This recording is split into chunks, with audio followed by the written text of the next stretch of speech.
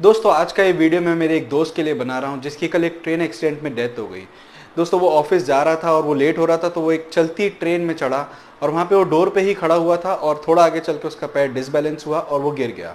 दोस्तों, हम अक्सर देखते हैं कि मुंबई में सुबह लोकल ट्रेन की क्या हाल रहती है। काफ़ी लोग चलती ट्रेन पकड़ते हैं, काफ़ी लोग डोर पे गिरते, खड़े रहते हैं और कितने लोग वहाँ से गिर के मर चुके हैं।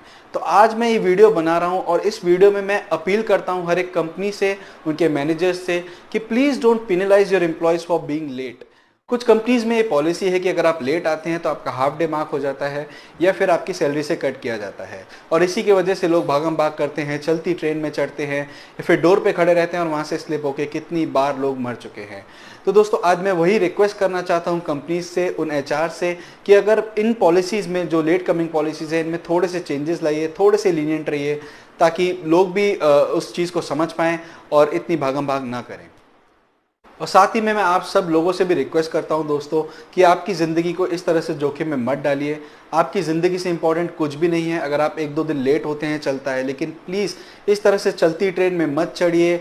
डोर पे तो बिल्कुल मत खड़े हुए मैं देखता हूँ कि ट्रेन खाली भी जा रही होती है तो भी आजकल लोग डोर पे ही खड़े रहते हैं। तो प्लीज़ ऐसा मत करिए। आप जब भी घर से निकलते हैं तो आपकी फैमिली आपका इंतज़ार करती है रिटर्न आने का। तो प्लीज़ उस इंतज़ार को इंतज़ार न रहने दें और खुद का ध्यान खुद रखिए दोस्तों।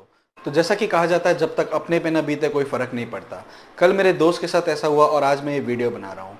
और मैं उम्मीद करता हूँ कि और किसी के साथ ऐसा ना हो। और इसलिए मैं लास्ट टाइम फिर से रिक्वेस्ट करूँगा कंपनीज़ और एम्प्लॉयज़ से कि प्लीज़ इसके बारे में थोड़ा सा सोचिए। और दोस्तों, अगर आप इस चीज़ को सपोर्ट करते हैं तो मुझे कमेंट सेक्शन में hashtag it's time for change के साथ कमेंट कीजिए और उस वीडियो को ज़्यादा से ज़्यादा शेयर कीजिए। तो आज के लिए इतना ही, मिलते हैं अगली बार एक और नए वीडियो में। तब तक के लिए बी सेफ़ बी हैप्पी